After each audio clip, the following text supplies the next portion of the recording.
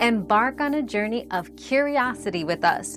What fascinating questions are we exploring today? God mode typically refers to a hidden feature in many software and games, allowing users unrestricted access to all settings and features. It's like having a master key to customize, troubleshoot, or explore beyond the usual limits. To activate it in Windows, for instance, create a new folder and rename it to a specific code string, which then unveils a comprehensive settings panel. However, its availability and method of activation can vary significantly across different platforms and applications.